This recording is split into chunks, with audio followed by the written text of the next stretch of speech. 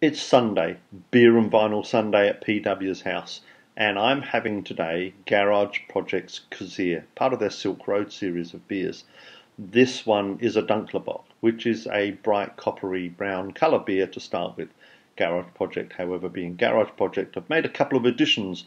One of them cinnamon, the other's cascara, and I believe cascara is the bit that goes around a coffee bean, so possibly some coffee flavours going on in there. I know the Silk Road series have had their flavours dialed up to about 11.